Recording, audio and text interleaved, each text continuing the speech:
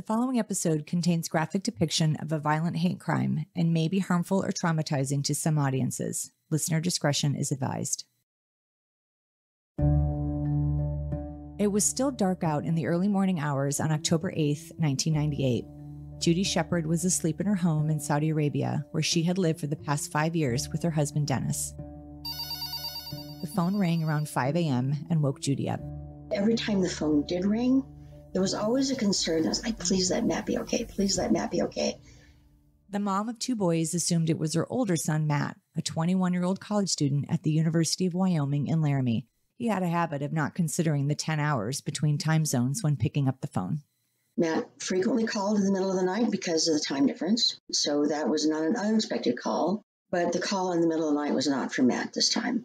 The call was from an ER doctor at Ivinson Memorial Hospital in Laramie. I got a call from the hospital saying that he had been injured, that there were no details. I think we just went to a car accident kind of scenario. Was this fatal? Is this like, is he not going to survive? And the doctor said, you just need to come home. Without hesitation, Judy immediately began making travel plans. It was a Thursday in Saudi, which is like Saturday in the States. Offices are closed. Their weekend is Thursday, Friday, not Saturday, Sunday. We had to get our passports back from the company office. We couldn't leave until that night. So it was a very long day, and we couldn't really get updates from the hospital. So, can you remember what you were experiencing and feeling when you have no contact on top of needing to wait until you can catch a flight? You go into this kind of mode of understanding that there is something really serious happening. If you let your mind go to certain places, you may not be able to come back. So I was very conscious of staying focused on the tasks at hand. I knew I couldn't fall apart right then and there. By this time, Matt's little brother was in boarding school on his own in the States, so I didn't have to, you know, think about him yet. I just had to get ready to leave. And so I stayed very focused to allow myself to go into that rabbit hole of worry and concern. I just couldn't allow myself to do that. Judy and Dennis had over 20 hours of travel with plenty of time to think about their son and what they might be facing halfway across the world. By the time we got on the plane, it was midnight in Saudi. We had six hour flight to Amsterdam, a six hour layover, eight hour flight to Minneapolis, a two hour layover. Dennis and I are like, well, we don't know what we're going to encounter, but we think we should make some decisions now. This is a discussion the four of us had had that particular summer because of what had happened to James Byrd Jr. in June of 98 three white men in Jasper, Texas, beat an African American man, James Byrd Jr., and then chained him to the back of a pickup truck, stripped him from the bottom down, and dragged him several miles to his death. His dismembered body abandoned on a dirt road. All the conversations that come out of that discussion. We knew in the situation that Matt was like, no, I do not want to be on a machine forever. If I'm not going to come back as me, I don't want to be brought back. We all felt that way then. It was just a lot of thinking and a lot of talking. Judy and Dennis landed in Minneapolis to pick up their younger son, Logan, who was attending a boarding school in the Twin Cities. The three of them took their final flight together to Denver, still unaware of what was happening, until they walked into the airport. As soon as we landed in Denver and the police escorted us off the airplane because the media was in the airport, it was like, oh my fucking God, what is going on here?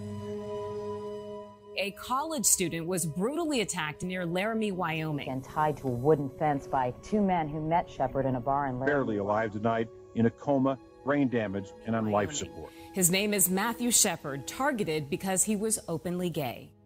The press was everywhere. This is the first time we see newspapers, headlines, young gay college student attacked in Laramie, Wyoming. And we're like, what the heck? We had no idea what was going on. No idea. What Judy also didn't know is that the attack on her son Matthew, known as Matt by family and friends, would become one of the most notorious anti gay hate crimes in American history.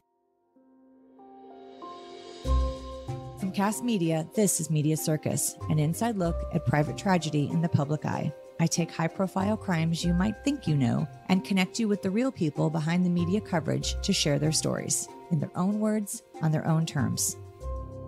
I'm Kim Goldman.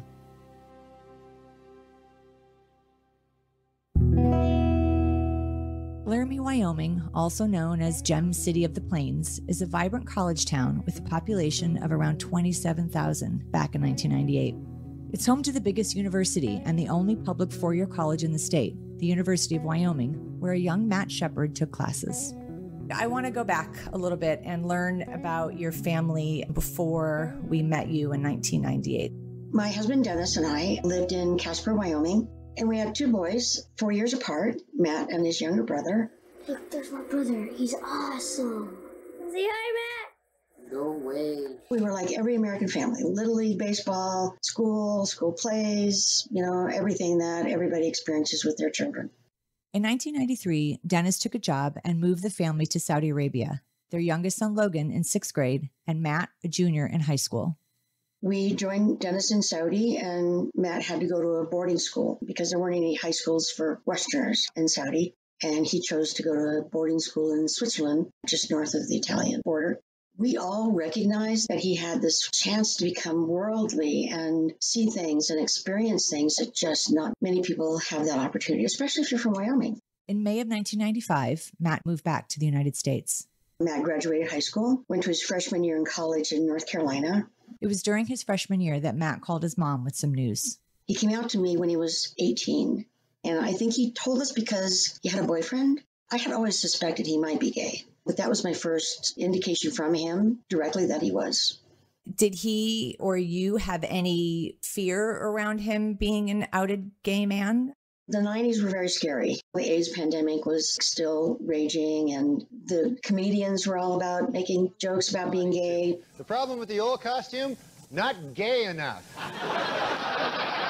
popular media was sort of stereotyping them. And there was a dramatic push from the evangelical Christian church to isolate the gay community and definitely keep them in second class citizen status.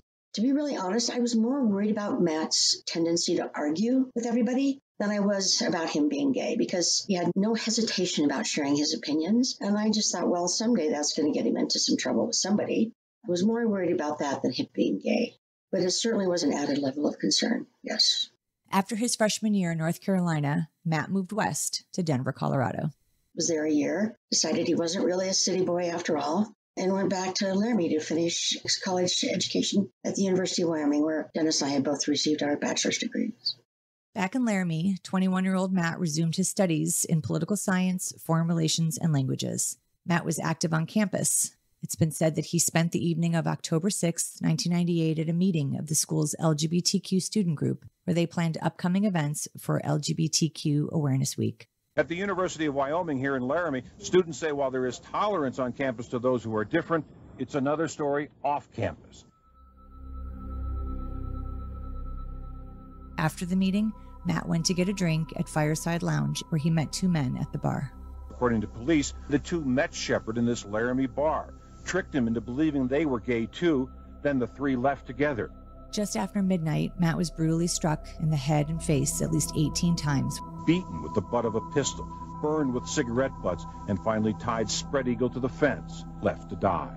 18 hours later, a passing bicyclist summoned help after almost mistaking Shepard's bloodied body for a scarecrow. Due to his extensive injuries, Matt was transferred from the local Laramie hospital over state lines to a trauma center in Fort Collins, Colorado, where reporters had already begun to swarm. We're met there by security from the hospital, sneaking us into the back door because of the media waiting for us at the hospital. It was there that Judy was finally able to see her son. Do you remember walking into the room? That I remember very clearly. It could have been anybody, really. I mean, his head was completely encased in bandages stitches all over his face where he had been beaten with a pistol, tubes everywhere. His fingers were already curled in his comatose position. He was totally unaware. The only way we knew it was Matt, when we got closer, you could see chickenpox marks. You could see his braces clenched around his breathing tube. Matt's injuries included four skull fractures. His brainstem was crushed. It was devastating. It was just devastating. A parent's worst nightmare. But the doctor urged, for Matt's sake, the Shepards keep a positive attitude while around Matt and to leave any anger or fear at the door. We brought his favorite music with us to the room. I had my perfume that he had bought for me, his cologne. We made the room smell familiar. We talked hopefully, we told stories. Definitely not to communicate any kind of fear or anger for his well being. Where do you and Dennis and Logan put your emotion if you can't bring it into the room? How did you manage that? we take it into the waiting room outside his uh, room. We were expressing it to each other. We just couldn't express it to him. And Logan would even go in the room. He says, That is not how I want to remember my brother. While they kept vigil, the community prayed. The cruelty and hate that was inflicted on Matthew Shepard cries out to each one of us to examine our lives and to do it honestly. And the media continued their tireless search for the story. They kept trying to sneak up to the hospital floor. They had to put security to keep them off the elevator. They kept trying to lie to us about who they were. So the receptionist at the nurse's station where the calls were coming in, we had to create a password so we knew if it was family or not. I mean, there were like movie producers and writers. It was insanity. At this point, Judy, did you know exactly what had happened? To be really honest, all our thoughts were really focused on Matt. We knew by this time he just wasn't gonna, you know, come back. I just want to be with him as long as I can. On October 12th, 1998, with his family by his side, 21 year old Matt Shepard succumbed to his injuries. The victim of what many people say was a hate crime in Wyoming this morning has died. His parents were spared the painful decision of removing him from life support. They said that, like the good, caring son that he was, he was able to remove from them the guilt or stress of having to make that decision. A hospital spokesman said Shepard's family is grateful for support from around the world. Matt's death was felt by millions of strangers, including celebrities like Ellen DeGeneres, who spoke at a vigil on the steps of the Capitol in Washington, D.C. I am so pissed off.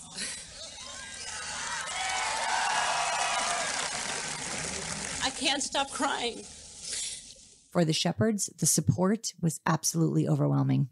We had to issue tickets to the funeral so we would know family and friends in the church rather than just people who wanted to just come. The advantage that we had was that we did not have a residence anywhere. So they couldn't camp out on our front yard or ask our neighbors or any of that nonsense that's going on in your world, even when you had it happening to you. With their home thousands of miles away in Saudi Arabia, Judy and Dennis fought for privacy from the media and the masses while they made arrangements from a local Laramie hotel. Even then, they would come to the front desk of the hotel and ask for our room number and try to call us and ask for tickets to the funeral and just try to be very invasive. We got a request from CNN to televise the funeral. It was like, no, that is no. What we did allow was the radio station to broadcast it because the surrounding churches had also filled up with people so we wanted them to be able to hear the service and outside the church as well in the blizzard, but we were not going to let them televise it.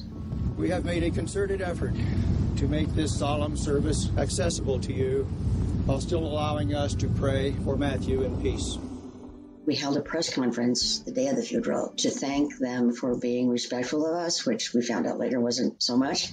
I would like to thank the press for respecting our privacy in these very trying times as soon as I started to cry, I could hear the camera going off. And in my head, I'm thinking, this is why they're here. They want to see this broken family try to convey their feelings. They really only care if it bleeds, it leads, right? You and I have this in common a little bit. I remember the press conference the first time that we had met with the media, it was silent. And then as soon as I started crying, it's like click, click, click, click, click, click. And you can almost hear the zooming in. Right my respect for the press fell quite a few notches that day. What did you feel looking out and seeing all of the media as you're burying your son, and then you have that to contend with? When you are the object of their obsession, it feels wrong, it feels invasive, it's oppressive, it is repulsive. The need for knowledge overrides humanity. Do you know why the media descended upon this so quickly? Well, that's the billion dollar question, right? I don't know if it was the iconic location or the level of brutality or the fact that Matt was a blonde haired, blue eyed, 20 year old, handsome young man. Maybe the media was tired of Bill and Monica in the fall of 98. I don't know. But there was something about it that just spoke to the media. But it wasn't just the press and supporters who showed up to Matt's funeral. But we're not going to sanitize their lifestyle either. I remember there being some protests and some hateful activity happening around Matt's funeral. Can you share that? There was an organization called Westboro Baptist Church. They were just anti gay everything. Fred Phelps, the founding pastor of a Kansas anti gay hate group posing as a church and consisting of mostly family members, was known to lead protests at high profile events and funerals. I mean, it's not okay to be gay. I mean, it's a soul damning, nation destroying lifestyle. They had these awful signs, and their children holding these signs was horrific. There was a veteran from Wyoming carrying a sign that says, Freedom is the freedom to hate. I think that's the one that stuck in my head the most. They showed up at the following trials as well. Yeah, we, we made them famous. Speaking of the trials, it's important to me to focus on the impact Judy has made on the world since Matt's death and not spend too much time on the killers themselves. But I will tell you this as Matt took his last breaths, his killers were in court charged with his murder. Two of the suspects arrested will now be charged with first degree murder. Their girlfriends charged as accessories. They found the two guys. They said they did it. There's no question. The first suspect, who stood by and did nothing while Matt was being tortured, was sentenced to two consecutive life sentences with no parole. He's not the one who did any of the evil to Matt. He did nothing to stop it, which is like, in the eyes of the law, equal. The other young man, he did everything when he was found guilty. We knew they were going to come back with the death penalty. We all knew it. I kind of dreaded it, to be honest, because I knew that that would lead to mandatory appeals, more courtroom appearances, more press, and I'm not in a good way. Always the possibility of a technicality screwing things up. The defense team approached the prosecution for a deal, the same sentence, two consecutive life sentences with no parole. The prosecution agreed. They're lost in the prison system forever. They're only in their 40s. They will be there forever unless some governor of Wyoming commutes a sentence to make them eligible for parole. I don't see that happening in my lifetime. I don't ever have to deal with them again. That would have created so many other stories. So for me, I'm okay. I just want to focus on the one moving forward where we can make a difference for Matt's friends. In the days and weeks that followed Matt's death, his story was everywhere. It wasn't just news about the gay community, it was mainstream media. They told the truth. As far as I can tell, they were empathetic, kind, honest. They didn't sensationalize it. They were careful about the language. We had nothing but respect for them at the time, but they were coached by a young woman named Cathy Renna, who was with GLAAD, who was the National Organization for Monitoring the Press. GLAAD, originally called Gay and Lesbian Alliance Against Defamation, was created in 1985 in response to what they called defamatory and sensationalized AIDS coverage. She was instrumental in communicating to them how they should talk about this. Here's Cathy in her 2014 TED Talk. His story is the story of so many of us in the LGBT community. And his story, for reasons that we'll talk about, is a story that actually got told to the extent that so many of you, even now, 15 years later, can raise your hands and know and understand. It didn't take Judy long to realize that the media could be a tool to make an impact far and wide. First, using her voice for parents affiliated with an organization called Parents, Families, and Friends of Lesbians and Gays, better known now as PFLAG. When we were in the hospital, even, we began to get notes and messages from PFLAG parents asking us, as long as we had the media's attention, could we please explain how important it was to accept and love your child? Gay or not, they were still your children. Dennis and I and Matt's little brother, we would do all we could as long as we had media attention to focus on being an accepting family. That was sort of what drove us in the beginning. And then it just got more important. Did it ever feel like a burden to carry on the messages of others like that? Kind of. Not the burden to get the work done, but we were in a position where everybody wanted to share their stories with us. That's hard. I love them for it and I respected them for it, but oh my gosh, that's hard. That's hard. Speaking up for parents was just the beginning. Soon, the self proclaimed off the scales introvert found herself speaking wherever she could. I understood I needed to become more outspoken to communicate how wrong it was of the world to be treating the LGBTQ plus community in this way because they are just people. There is nobody in this country that doesn't know and love somebody who's gay. They just don't know that they know somebody who's gay. They are no different than anybody else other than who they love. And why do you care? Why do you care? It doesn't affect you at all. With Dennis back to work in Saudi Arabia and Logan back in school, Judy knew there was more work to be done. There was a gentleman at Matt's funeral who gave us his business card. And I said to Dennis, Who does that at a funeral? And on the back of the card, it says, I donated $10,000 to the Human Rights Campaign in Matt's name. And so I contacted him to thank him for that. And then he said, if you have any interest in learning about the Human Rights Campaign, let me know and I will hook you up. It was like, okay, I think maybe I need to dip my toe in what it is I can do to help. I contacted them and said, I'm, I'm interested in finding out about what you do and how I can help. And then I contacted all the national organizations and offered my voice to them as well, knowing that I was in the press all the time, thinking I can elevate their story, maybe. So I went with the Human Rights Campaign, and my energy was towards legislation. I was available to everybody else, but my passion was going to be in this direction. Just weeks after Matt's death, the Matthew Shepard Foundation was established to fight for equal rights. What was the purpose in your daily work at that point with the foundation? I wanted to get a curriculum into schools. that wanted to talk about the gay community, share gay history, thinking maybe if people understood gay folks had been here forever and how critical they were in history, that maybe the prejudice would dissipate. My ultimate goal was just let them be them. Don't hassle them at work. Don't hassle them when they want to get married or buy property or buy a house or rent or have a business, for God's sake. Just let them be them and quit taking stuff away from them because they happen to be gay. They didn't choose to do that. It's who they are. Judy's goals also included a grassroots effort to change hate crime laws.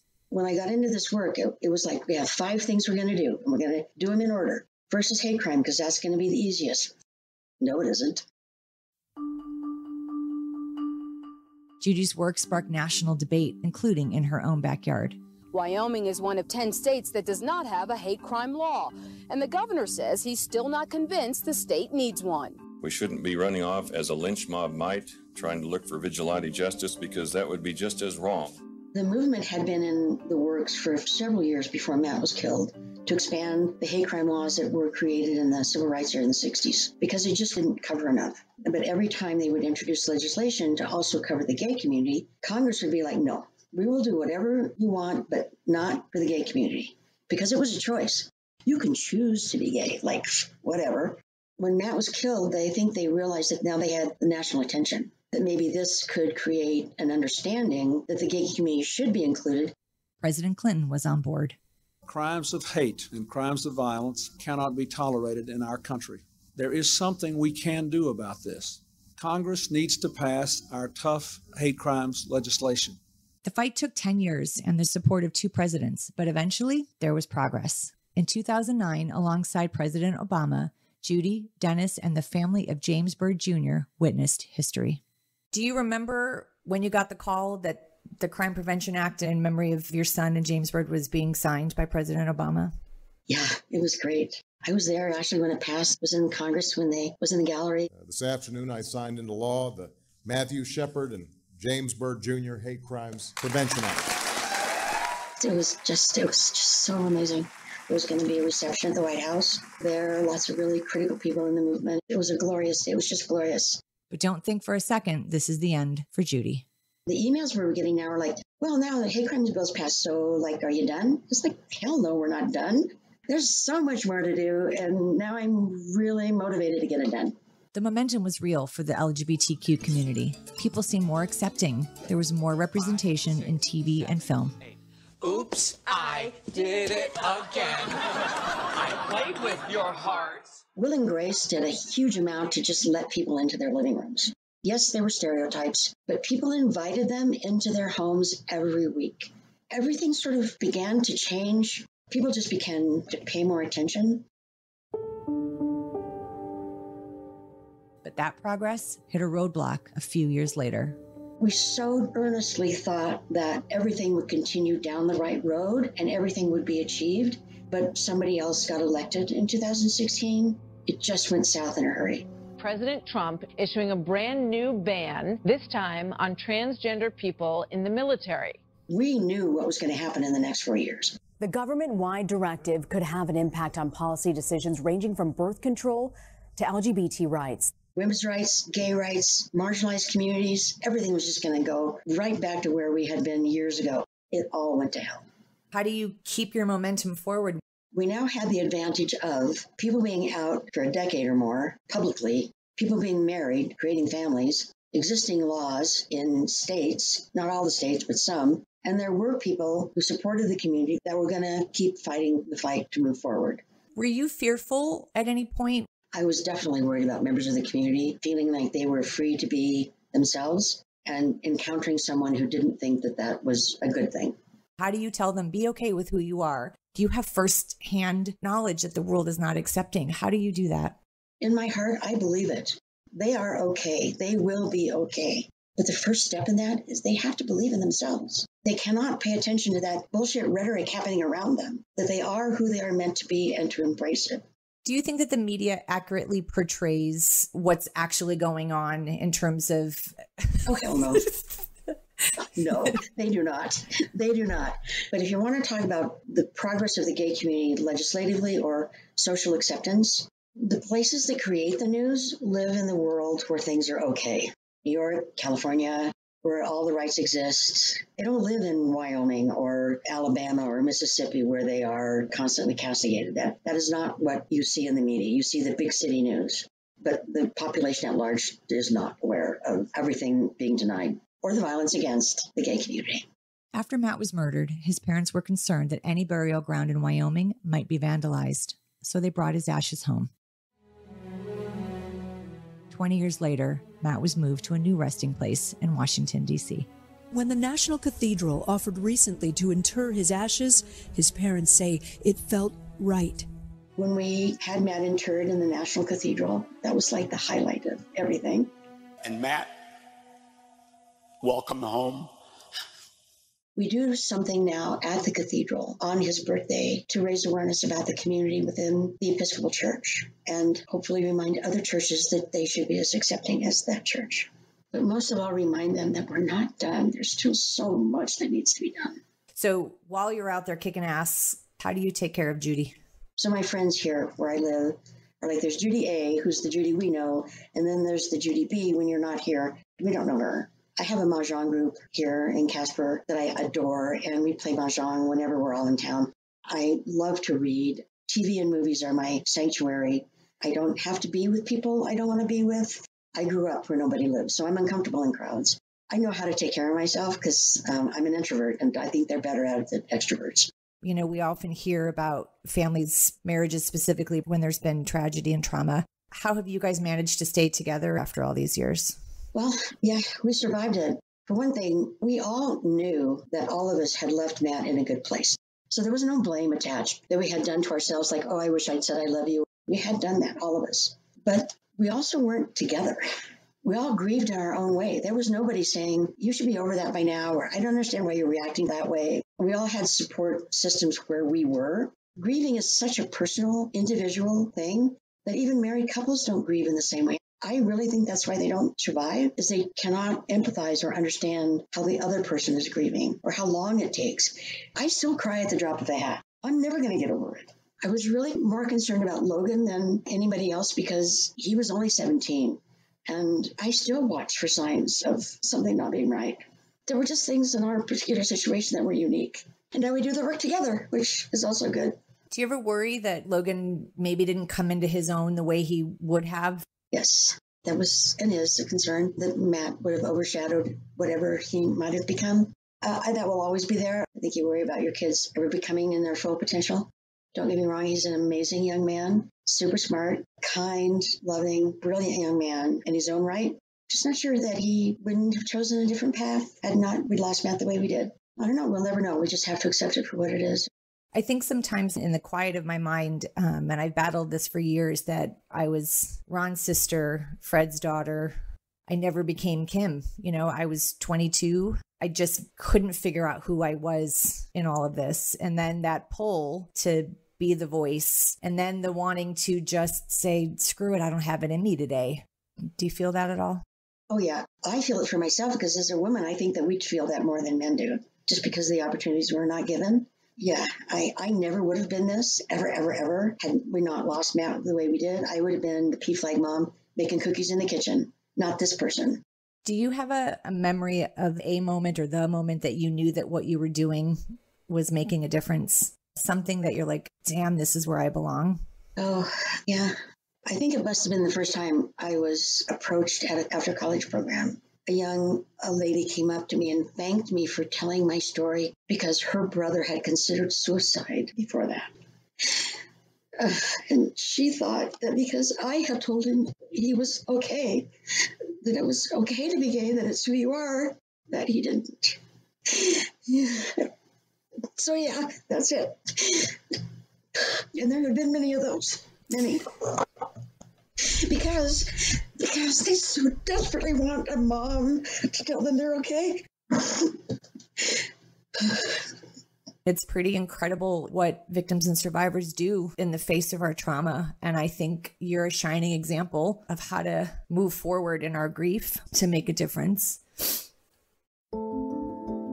Matt Shepard has been gone longer than he was here on Earth, but his legacy continues on. You know, and he'd just smile at everybody.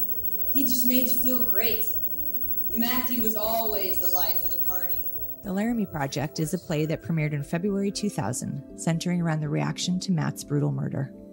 For years, it was the second most produced play in the country by high schools and community theater. So, this theater group called Tectonic from New York went to Laramie in the aftermath of Matt's murder in 98 and interviewed hundreds of people in Laramie about how they felt, and they condensed it into a play. So the play is actually these folks' actual words. No sensationalizing, no dramatization. This is actually the conversations. It's been produced all over the world. It's been done in Uganda, in Nepal, in Kenya, everywhere you can imagine. But to me, the main point of the story is if you take out Matt and his sexuality and insert someone and their race, it's exactly the same story. It's a story about discrimination and hate and violence. What do you want the life and legacy of Matt to be? That's an excellent question. And I'm not really sure I have an answer. I want people to remember Matt's story because Matt was just a college student trying to live his life and it was taken from him just because of who he was. I want them to remember that story. But I also want them to remember that Matt was a human being. He was a person with family and friends and foibles and flaws. He was argumentative and annoying, and we loved him even then. He wasn't perfect, no child is. I wouldn't want my life as a 21 year old college student to be memorialized, right? I wouldn't want that. He was a person, and so was every victim of a hate crime. Matt played a role in raising awareness. He didn't knowingly give his life for that, he just was living his life and her message for other parents who may have an LGBTQ child. If you were at all questioning that anything you did or the media or storybooks or movies or TV shows that they watch has made them gay, rethink that, please. It's who they are. And the storybooks and the movies only give them the language to talk about it and to feel good about themselves and understand that there's nothing wrong with them. They need your support and they need you to stand up for them. Judy and I connected as crime victims and advocates, but being a mom myself, the pain of losing her son resonates with me on such a profound level. But I am so moved, inspired, and hopeful that the work Judy continues to do will create a lasting impact for years and generations to come. Judy, thank you from the bottom of my heart. To follow Judy's work and support the Matthew Shepard Foundation, visit matthewshepard.org, and I'll link to any organizations mentioned in this episode in the show notes. Media Circus is a Kast original podcast, executive produced and hosted by me, Kim Goldman, produced by Jackie McDougall. Harper Carlton is our associate producer.